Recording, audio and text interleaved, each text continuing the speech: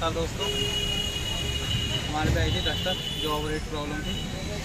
हमने उस गाड़ी में सारी पाइपें सारी चेक करी है। उसमें हमें एक पाइप मिली है हीटर वाली।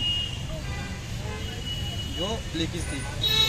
बंदों ने ऐसा जुगाड़ कर रखा गाड़ियों में कि टेप लगा के पाइपों पे, उससे कभी पानी रुक जाएगा, नहीं रुकेगा। हमेशा पाइप न भी डलवाएँ और वो हम आपको पाइप के आला दिखाते इस पर क्या क्या कर रखा है। ये हमारी पाइप है हीटर वाली।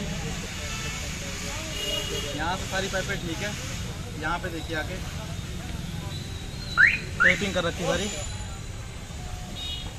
बताइए आप टेपिंग से कभी अपनी पानी रुक जाएगा लीकेज एक छोटी सी लापरवाही पाँच सात सौ की पाइप नहीं है। लाखों का नुकसान।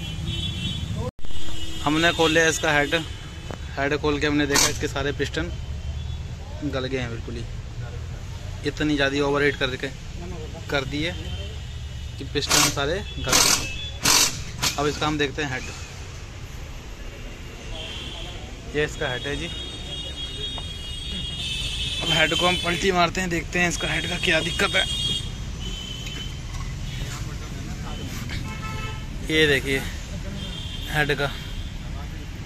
पिस्टन गल के यहाँ फंस गया सारा हेड पे। इंजन पूरा डैमेज हो गया। प्लास्टिक तो गल गई है इसकी।